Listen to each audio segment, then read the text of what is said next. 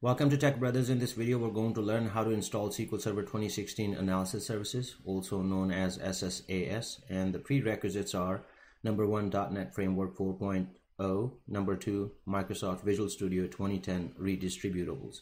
Let's get into the installation. This is my server where I'm going to install um, SQL Server 2016 Analysis Services. You have a couple options to install uh, SSAS 2016. One is that you can install it as new SQL Server standalone installation. For that, if you don't have SQL Server already installed, SQL Server Engine installed on this, uh, uh, in case of production on this server, then you have to pay license. But if you have SQL Server uh, Engine installed and you want to add analysis services as a feature, then you don't have to pay um, uh, license for analysis services. I'll be installing just adding a, a, feature to my existing installation, my existing SQL Server 2016 instance. So click on installation. This is my media. All you need to do is open your media, right click on setup and run as admin. And this landing page will appear. You need to click on installation and click on new SQL Server standalone installation or add feature to an existing installation.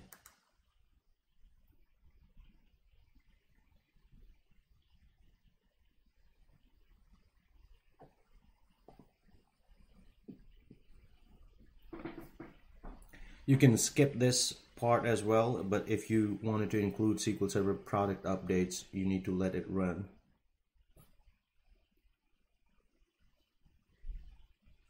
Click Next. It's installing some setup files.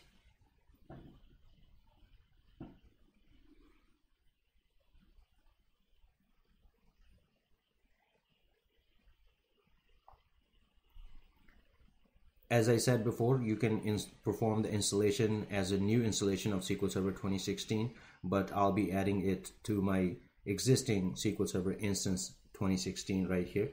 This is my uh, SQL Server instance. Click Next.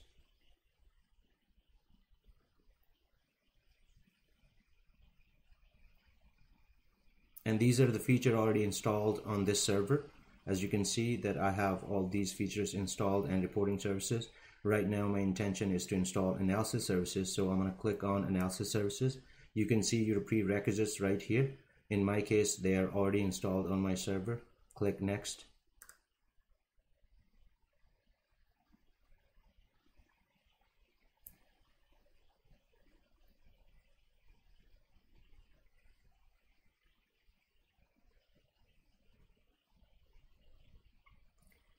this is the account that is going to run uh, SSAS services. Uh, I would recommend, and also Microsoft recommends that uh, uh you use separate account for each SQL Server service. In my case, I'll be using a separate account. If you decide to use separate account, then you need to have a password uh, if you wanted to do it during the installation. You can always go back to the services or configuration of SQL Server 2016 and change it then. But since I have the account already, I'm going to change that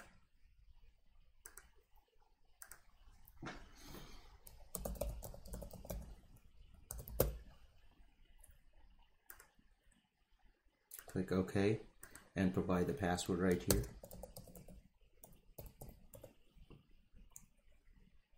The best practice is that you uh, keep the SQL Server browser services disabled nowadays, uh, but uh, what browser services does is basically redirect if you have multiple instances coming connection coming from DNS and it redirects which instance basically you are trying to access. So in that case, browser services needs to run and it'll help you to uh, do the name resolution uh, in multiple SQL Server instance on one server.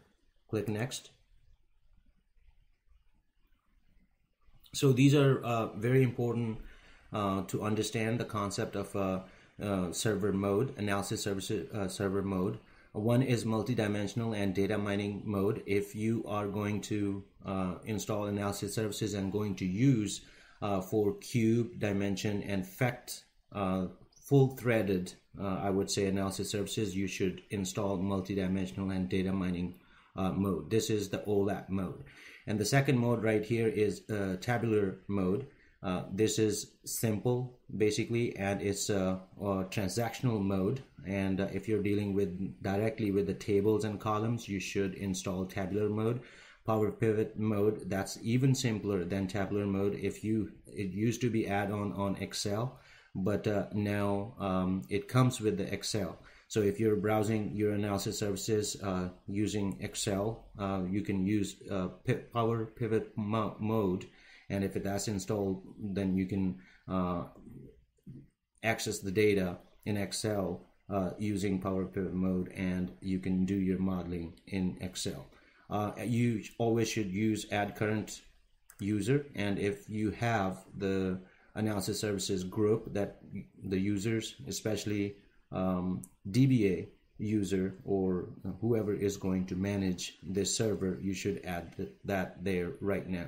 Data directories in my case i don't have a separate data drive and log drive. I would recommend that uh, on each service you should have a separate data directory and log directory. Uh, right here I have just the C so I'm gonna leave it uh, by default but you can change these data directories and log files uh, later but in case of production you have to turn the services off in order to move these directories so um, for production planning, uh, you should have the data directory and log files separate for analysis services and should configure during the installation so you don't have to bring down your services and do that later.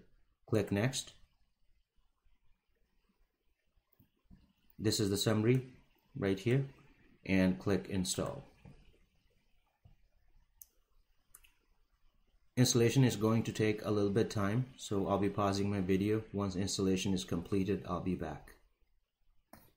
Alright, as you can see that analysis services installation is completed. We're going to close this and I'll minimize this and we'll use SQL Server Management Studio to connect to analysis services instance to see if everything is okay.